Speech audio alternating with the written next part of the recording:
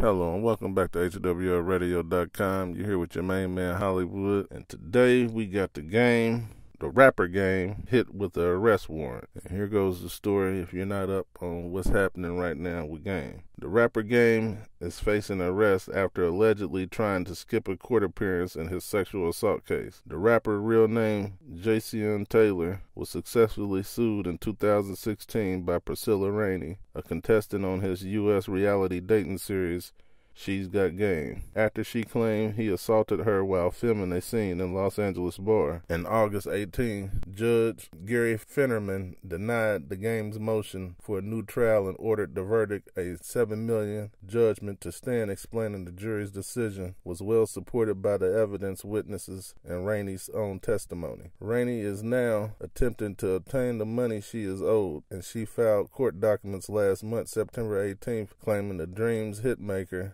is more than capable of paying her but has yet to give her anything. According to the blast, the game was due in court this week on the 5th of October, but filed papers stating he could not appear because he was obligated to appear on the U.S. TV show Nick Cannon Presents Wildin' Out Live. He also sought permission to have his lawyer represent him at the hearing. However, the judge in the ongoing case has found him in contempt of court and has issued a warrant for his arrest. The warrant has been stayed until Friday, the 5th of October. Meanwhile, the hip hop star has also been ordered to turn over his financial documents to Rainey. She insists she has yet to see the paperwork, but he states he is working to get her the information. I mean, damn, boy.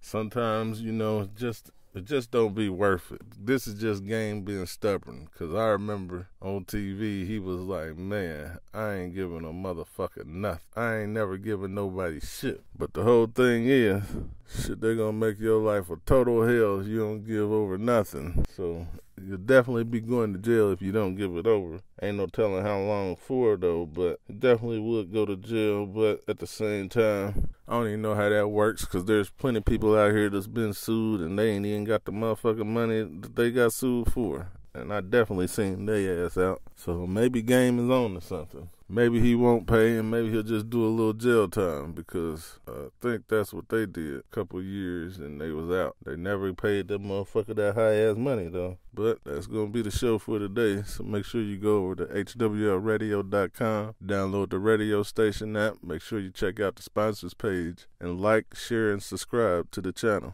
We almost up there. We only need 19 more people and we going live. I know y'all wanted to see who the fuck is telling y'all all these stories. And I'm ready for y'all to fucking see me. And hit that donate button. So that's it and I'm out.